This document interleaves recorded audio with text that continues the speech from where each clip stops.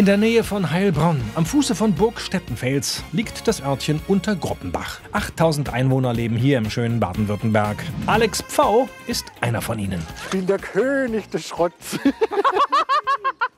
Mit Aurelio, Anja und Alea Hallo. Hallo.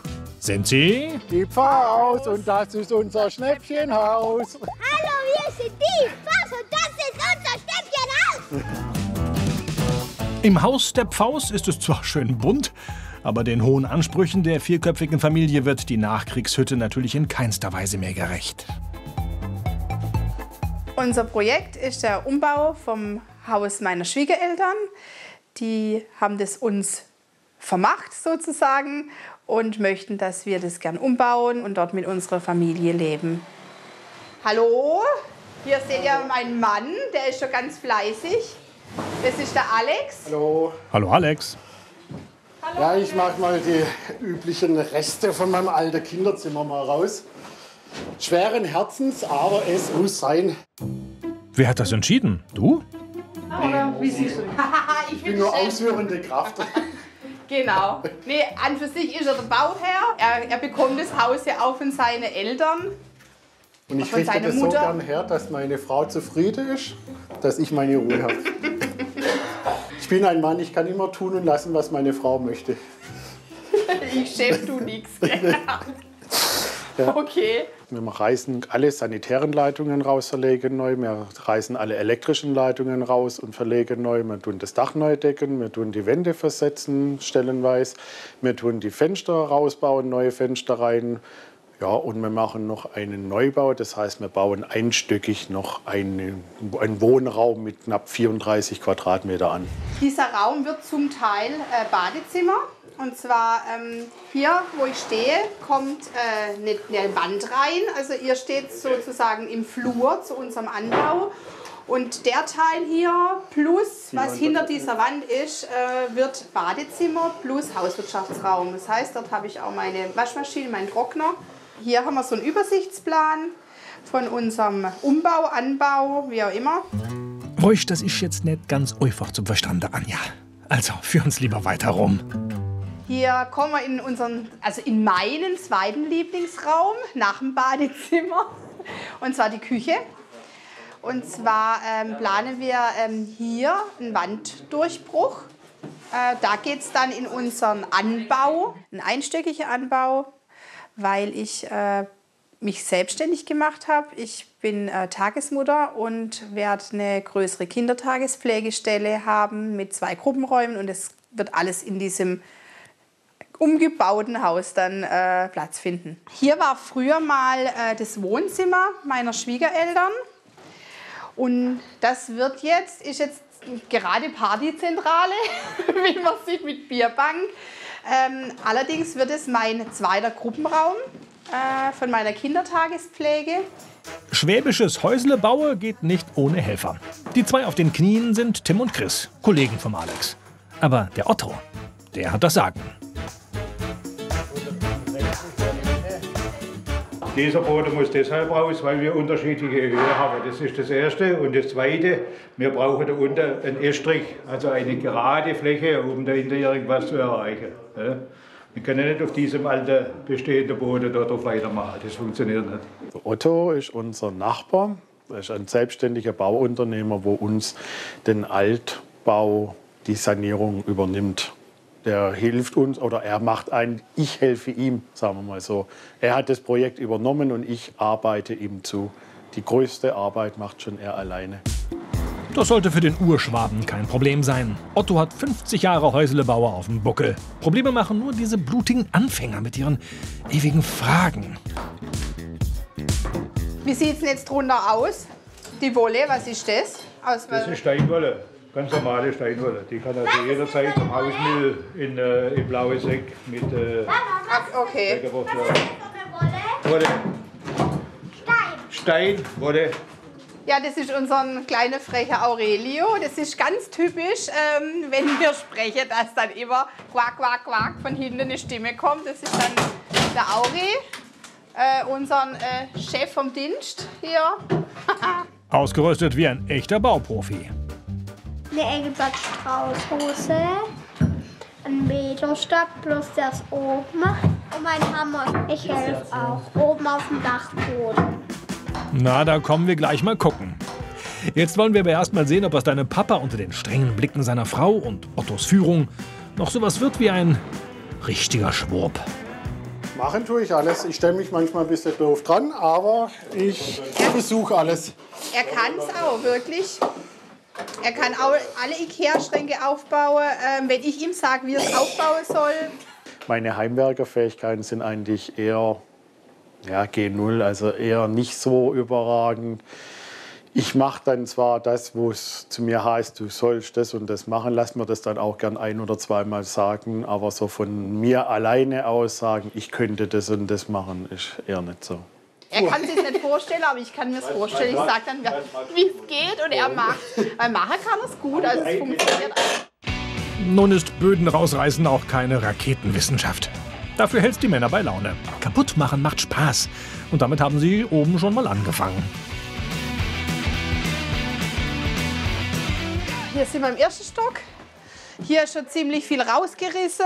Hier kommt Schlafzimmer rein, die zwei Kinderzimmer. Kann man sich schon recht gut vorstellen, wie es werden soll. Wir können jetzt auch gerne auf unsere zweite Großbaustelle hoch auf den Dachboden gehen. Statt Sohnemann Aurelio werkelt hier ein weiterer Helfer. Hallo Hi. und fleißig. Das du ja. Ja, hier, hier seht ihr unseren Sven. Der ja arbeitet hier allein auf weiter Flur, du Armer. Sven, was machst du genau jetzt? Tja, ich habe die Aufgabe gekriegt, den Fußboden hier rauszureißen. Okay. Jeden Nagel hier aus dem schönen Brett noch rauszuklopfen, weil die Bretter wohl wiederverwendet werden. Ja, Gerade eine WhatsApp gekriegt, wo ich ein Bier habe, Sven. Bitte. Aber nur wird er gut verpflegt. Danke. Du hast tatsächlich per WhatsApp ein Bier bestellt? Nee, das würde ich jetzt auch behaupten. eigentlich nicht, nee. Die Bretter, äh, hat der Otto gesagt, die wollen wir benutzen, um hier in 50 cm Höhe ähm, das zu verkleiden. Wir müssen mal den Otto fragen, wie viel ähm, du da machen musst, weil ich glaube, das ist echt äh, Sklavenarbeit hier. Das ist nicht ausgedrückt. Ich glaube, äh, irgendwas hast du dem Otto angetan. Ich weiß auch nicht, ich muss nachher mal fragen, glaube ich. Bis später. Tschüss. Ciao. Der arme Sven. Auf was hat er sich da nur eingelassen? Aber vom Geldausgäbe ist noch keiner reich wurde. Und das Budget der Pfaus ist bekanntlich mit der Brechstange gestrickt.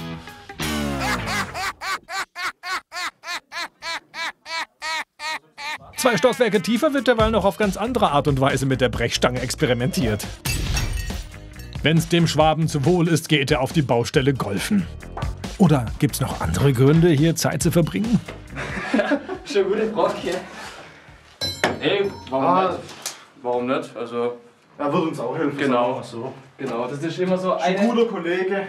eine Hand wäscht die andere. Also, wenn wir was brauchen, dann können wir uns die ganze Zeit an. Das würde uns genauso helfen. Also, von daher, wir kennen uns auch schon ewig. Außer, außerdem wollte mir auch mal ins Fernsehen kommen. Na dann, wirf doch mal mit deinem Lächeln ein paar Holzbalken aus dem Fenster. Machst du super. So wird man zum Star. Alex wiederum merkt gerade, dass die Sache mit dem Helfen einen Haken hat. Auch ein einfacher Flaschenzug will beherrscht werden.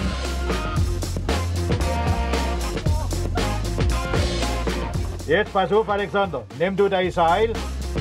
Der Otto hat's halt drauf. Und Alex wieder was gelernt. Anja hat allen Grund, stolz zu sein. Wie wirkt sich der Umbau denn so insgesamt auf die Beziehung aus? Schwarz zusammen. Nee.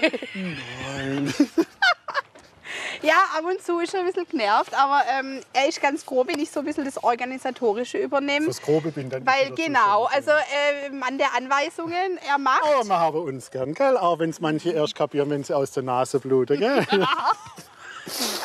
Ja, das seht ihr mal, wie ich es habe hier. Wunderbar. Aber jetzt noch einen anderen zu finden, der mir hier umbaut, ist blöd. Das wird dann passieren, wenn wir fertig sind. Oder? Nee, ich bin schon froh, dass ich ihn habe. Ich glaube, wir haben uns echt gesucht und gefunden. Otto ist fertig. Odo, Odo ist fertig und wir sind auch froh, dass wir den Odo haben, natürlich. So ein schwäbischer Häuslebau macht halt Dreck und ist wenig einträglich. Da sind die Helfer schon froh, wenn sich nicht nur der Container, sondern auch der Magen fällt. Essen! Okay, ihr steht ja hier schon Brüll. Es ist fertig. Ihr könnt kommen. Erstmal essen, dann die Arbeit, sagt der Schwab. Schwäbin Anja hätte das Essen am liebsten für immer mit dem Arbeiten verbunden. Meine ursprüngliche Bestimmung. Äh, ich wollte schon immer im Service arbeiten. Aber ich bin einfach zu tollpatschig für den Service, deswegen habe ich mich das bisher nicht getraut. Ich würde wahrscheinlich immer alles runterschmeißen. Also Kellner ist nicht mein Beruf. Ich bin der kreative Typ. Ich streiche unheimlich gerne Wände, ich richte gern ein. Ich, äh, Innenarchitektur interessiert mich sehr. Ähm, aber für das ganz Grobe bin ich, glaube ich, nicht so ähm, geeignet. So, jetzt guck her. Ja? Den Hammer nicht hier, sondern hier. Ja.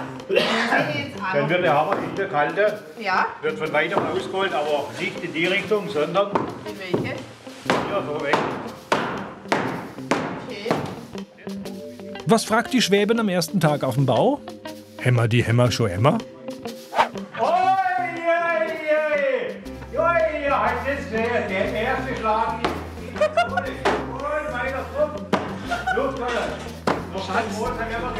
Safety, safety first. Und was fragt die Frau, wenn sie die Schutzbrille anzieht? Jetzt, aber jetzt bin ich. Steht die mir auch? Geht Wand kaputt, aber nicht der Rahmen. Alle kaputt. Druck, Druck, Druck, Druck, Druck. Druck. Ja, weiter. Weiter. Hey, Ein Erfolg. Ihre Tätigkeit im Bau ist eigentlich nur auf die Organisation zurückzuführen, aber das ist auch bedingt daher, dass sie halt auch nach der ganzen Zeit nach der Kinder dann schaut, wenn ich auf dem Bau bin. Aber ist vielleicht auch gut, wenn sie nicht da ist, weil so toll stellt sie sich vielleicht auch nicht an. Ja, die sind gemein. Die wollen jetzt bloß sehen, wie ich mich blamier. Für Alex, der stichelt gern. Ähm, Sternzeichen Skorpion, sage ich nur. Weiter, weiter, weiter, weiter, weiter, weiter. Yes. Also ihr könnt Feierabend machen. Große Komplikation. Ja, danke. Danke. Ja, fürs erste Mal war es okay. Es war halt ein ungewohntes Bild, aber sie hat sich nicht so schlecht gemacht. Weil ich ja sonst gar nichts mache, gell? Zumindest nicht hier. Ja gut, ich bin für die feinere Sache zuständig. Für Farbe von der Tapete raussuchen und Genau. so. Ja, wir müssen nächste Woche tapezieren, das eilt jetzt. Ja. Ich werde jetzt mein Brecheisen weiterreichen, damit die, die Junge hier auch mal was tun können. Ja, vom Rumstehen und Schwätzen geht halt noch kein Türrahmen raus. Ich übernehme das jetzt und mache mal einfach. Genau, jetzt zeig mal du, wie das geht. Hier bitte Sicherheitsbrille. Nee, brauchen wir nicht. Doch. Nee, brauchen wir nicht. Brauchen wir nicht. Na gut, dann halt ich sie. Willkommen bei den schwäbischen Meisterschaften im Türzagenabriss. Herausforderer Alexander Pfau 41. Und da fällt doch schon der Startschuss. Alex gibt sich mit dem Werkzeug alle Mühe, doch der Kuhfuß muss eine Erfindung der Badener sein. Ein Schwabe legt lieber Hand an. Zwei Tagen noch mal ein Türrahmen raus. Jetzt ist der Schwabe ganz in seinem Element. Geschafft ist gleich. Oder scheitert es am letzten Nägle? So, Thema erledigt. Er ist eher grobmotorisch. Äh, wie gesagt, ähm, raushaue ist super. Beim Raushauen wäre Sven auf dem Dachboden auch gerne super. Der hat nämlich die Gosch knagelt voll von seinen Brettern. Und auch im Erdgeschoss haut's nicht wirklich hin. Problem. Ohne Maschine. Ich habe gerade hab grad versucht, ein Linoleum rauszumachen, habe das gefunden. Holz, Linoleum, Fliesen und so weiter und so fort. Sonderausführung 1960 etwa. 49, 50. Ja, oder 49, 50, was man gefunden hat auf dem Baumarkt oder auf der so Straße. habe ich auch genau.